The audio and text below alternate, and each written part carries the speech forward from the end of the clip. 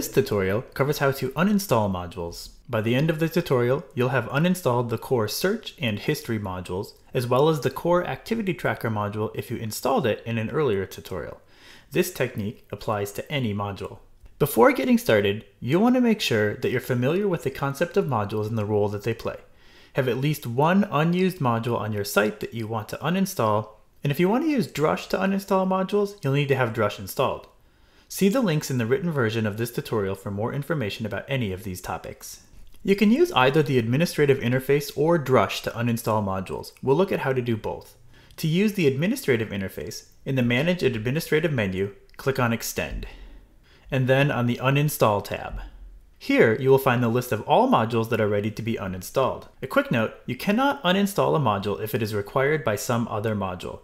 For example, the core file module is required by the core text editor, CK editor, and image modules. It can't be uninstalled unless you uninstall its dependent modules and functionality first. A module that cannot be uninstalled yet will have a disabled checkbox, restricting you from uninstalling it.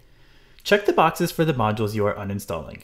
Search, History, and Activity Tracker. Then scroll to the bottom of the page and click Uninstall. You will be prompted to confirm the module uninstall request. Click Uninstall to continue. After the module has been uninstalled, you will be returned to the Extend page and a message will be displayed indicating that the module or modules have been successfully uninstalled. In order to use Drush to uninstall a module, you need to know the module's machine name. This can be found by going to the Extend page in the Manage Administrative menu.